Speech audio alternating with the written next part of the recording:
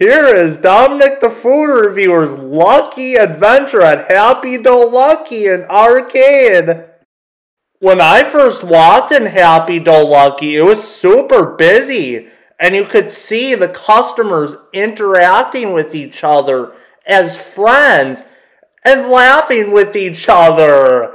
And they have different themes from smiley faces, which represent Happy Dough Lucky with rainbows that are super colorful and detailed with old school consoles with the Simpsons themes onto it and so much more including Lego style tables.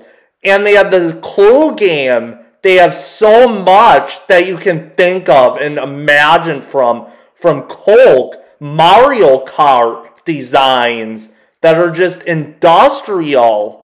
I got the opportunity to meet the co-founder Andrew who established this sweet, savory, full filling and fun at this colorful establishment that you could never imagine of in your brain. Happy Dough Lucky has very happy and positive vibes. I had so much extra positive energy while I was experiencing it. Happy Dough Lucky has so many different kinds of mini donuts you can always imagine from, from peach cobbler, which is perfectly sweet, smooth nutter butter with Reese's peanut butter cups, and s'mores chocolate sauce, which has fluffy marshmallows and extra crunchy graham crackers.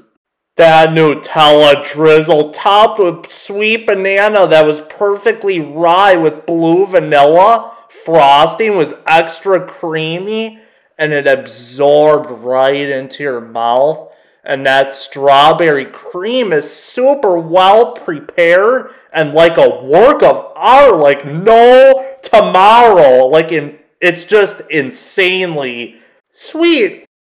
Number two you can actually get a choice of a six pack with three different kinds of flavors as a fun fact when you're having such a blasting experience at Happy Dough Lucky and that nutter butter cake and donuts were perfectly had a smooth texture and we were perfectly grinded up peanut butter. Adding Happy Dough Lucky, I got the chance to play ping pong, which was an absolute hoot from Tales from the Crypt, Star Wars, from different themes like Star Trek and The Simpsons, and Legos which are extremely interesting and super modern as an establishment throughout the urban city of Milwaukee. Please stay tuned for more fun, filling, and positive journeys very soon. Executive produced by Dominic the Food Reviewer.